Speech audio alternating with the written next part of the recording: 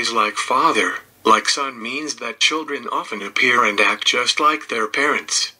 This ancient proverb has been stated in English in slightly varying versions since the 1300s. When your toddler runs naked through the house while your great aunt Myrtle is visiting, it's easy to point fingers and maniacally tell your other half, he gets that from you. And as it turns out, you might have a good reason to cast blame. According to science, children tend to be more like their fathers genetically speaking. According to the study conducted at the University of North Carolina, mammals including humans tend to be more like their fathers than their mothers. While it still remains true that genetic material is inherited equally from both parents, the researchers found that mammals tend to use more of the DNA that come from the father more than the mother. They also found that a gene mutation may cause very different results depending on which parent it was inherited from. For example, if a child inherited a disease from the mother, it would not be as prominent as it would be if the same disease was inherited by the father. Many men are love starved for their fathers and deny it. To let this out of the bag is to face a great deal of anger, rejection, and sadness. What is possible between a father and son? What can men do with the array of untapped emotions that shield them from knowing themselves? As adult men, we can't pretend away old and unresolved wounds, because the hurts eventually resurface in other areas of our lives. The unexpressed hurt and anger often transfer onto our love relationships, parenting, challenges at work, and problems with authority. In the case of William Gerald Zuern Jr., born December 5, 1958, in Cincinnati, Ohio, the relationship he had with his father was extravagant. William Gerald Zuern Jr. came to prison because he wanted to revenge on a man who had been a police informant who helped the police to bring his father to jail. On May 12, 1984, Zuern shot and killed 24 year old Gregory Earls with a single shot to the chest from a pistol. The murder was a revenge killing. In 1979, Earls, who was a police informant, had helped convict Zuern's father of drug trafficking.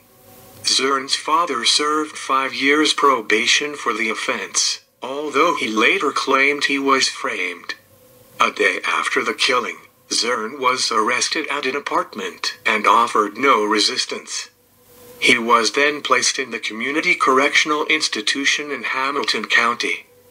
While awaiting trial for the murder of Gregory Earls, on May 14, 1984, William G. Zuern was incarcerated at the Community Correctional Institute in Hamilton County, Ohio.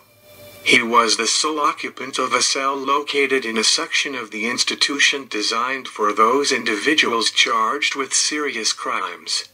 Sometime in the latter part of May 1984, Zuern had a conversation with another inmate, Wayne C. Lewis, in which he expressed a general animosity towards correctional officers for failing to give him his full five minutes of telephone time. Lewis also had observed Zuern sharpening a straightened portion of a metal bucket hook over the course of three days. Thereafter, Lewis informed a corrections officer that Zuern had a knife or a shank. Chief supervisors ordered a search of several cells to recover the weapon. On the evening of June 9, 1984, several officers were ordered to search Zuern's cell, among others. At approximately 10:20 p.m., officers Joe Burton and Phillip Pence arrived to perform the search and found Zuern lying naked in his bunk. Officer Pence ordered Zuern to get to his feet. William Gerald Zuern then stood at the door of the cell. Pence unlocked the cell and told Zuern to come out and put his hands against the wall. Zuern suddenly lunged at Pence and stabbed him with the metal shank. The instrument entered Pence's body at the lower left side of the chest. After the door was secured and Zuern confined, Pence lifted his shirt to observe the injury, at which time he began to feel faint. After a nurse was summoned, Pence was rushed to a nearby hospital. Despite efforts to save his life, Pence died. An autopsy determined that death occurred as a result of the stab injury to the chest which penetrated Pence's heart. Authorities immediately recovered the weapon used by Zuern. It was a long dagger-like piece of metal, approximately 7 inches long. One end was sharpened to a point, and the other was curved into a loop. Zuern was indicted for purposely causing the death of another with prior calculation and design in violation of the law. The offense was committed while Zuern was a prisoner in a detention facility as specified in that the offense was committed while the victim was a peace officer, whom Zuern knew to be such, and at the time of the commission of the offense the victim was engaged in his duties as a police officer, and that the offense alleged in this indictment was committed while the victim was a police officer, whom Zuern knew to be such. And at the time of the commission of the offense alleged herein, it was Zuern's specific purpose to kill a police officer. In September 1984, Zuern was tried for the murder of Phillip Pence. William G. Zuern Jr. entered a plea of not guilty and not guilty by reason of insanity. Throughout his trial, Zuern refused to take the stand and testify on his own behalf. His defense attorneys called no witnesses and made no opening statements. Two inmates who had been imprisoned with William G. Zuern Jr. testified against him. On October 1, 1984, Zuern was found guilty of aggravated murder in the death of Pence. On October 3, the jury recommended Zuern receive the death penalty. On October 5, Judge William Morrissey sentenced Zuern to death. In November 1984, Zuern pleaded guilty to aggravated murder in the shooting of Gregory Earls. On November 19, 1984, William G. Zuern Jr. was sentenced to a life term, which was to run concurrently with his death sentence in Pence's murder. On October 14, 1985, Zuern and several other inmates, including death row inmates J.D. Scott and John William Byrd Jr., took two guards hostage at the Southern Ohio Correctional Facility. The prisoners demanded that they receive free deodorant access to televisions and radios, more desserts, and transfers to the Franklin County Jail. They threatened to harm the guards if the demands were not met. After 15 hours of negotiations, the guards were released and harmed. The Ohio Supreme Court has set a June 8th execution date for William G. Zuern, 45 who killed jailer Phillip Pence with a homemade knife on June 9, 1984. A federal judge has put the execution on hold. While an appeals court considers whether to let the state proceed, the Ohio Parole Board holds a hearing in Columbus to determine whether to recommend that Governor Bob Taft grant clemency. On June 8, 2004, Zuern was executed via lethal injection at the Southern Ohio Correctional Facility, one day prior to the 20th anniversary of Pence's murder. He offered no last words and refused to see his two sisters.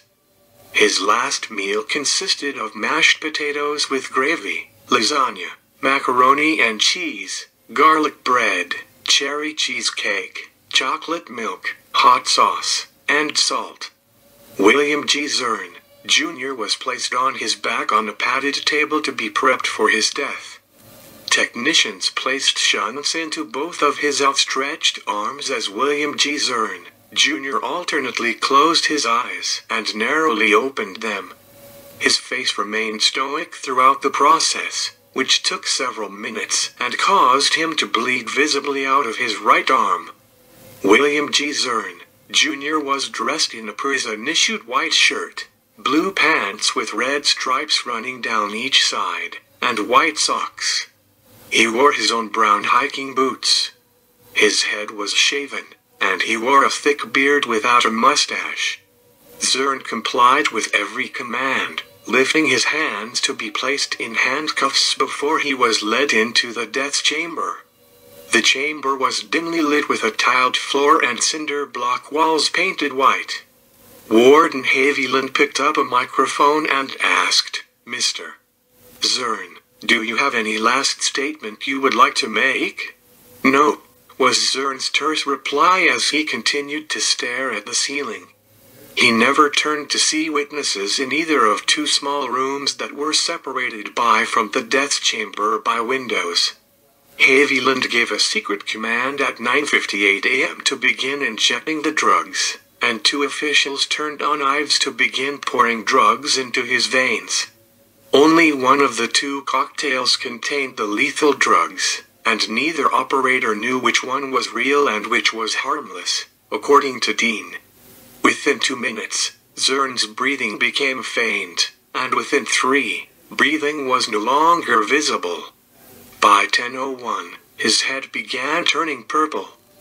The 45 year old died six minutes after two lethal drugs pancuronium bromide to stop his breathing and potassium chloride to stop his heartbeat began flowing into his veins. His death was a peaceful one. His chest heaved several times, and his lips parted with slightly labored breathing for several minutes before his breathing stopped forever. Zuern's face and shaved head turned lightly purple before prison officials drew a curtain between Zuern and the witnesses at 10. 3 a.m. after a prison doctor performed a quick examination. The curtain was reopened and Warden James Haviland drew a microphone to his mouth and said, Time of death 10.04 a.m. After Zuern was pronounced dead, witnesses were led back through a courtyard where a black Cadillac hearse awaited. Zuern was transported to a local funeral home and was buried in a state-run cemetery adjacent to a prison in Chillicothe, because his family did not have the means to arrange a private burial. Thank you for watching Death Row.